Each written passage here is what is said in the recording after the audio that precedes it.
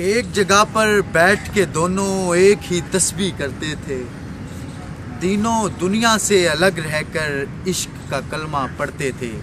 हम दोनों के अंदर बस ये एक ही बात मुतमासिल थी। लोगों का कोई डर नहीं था, अल्लाह से हम डरते थे। और किसी भी बात पे कभी हमारा झगड़ा नहीं होता था। लेकिन इश्क के मसले पर हम एक दूजे से लड़ते थे।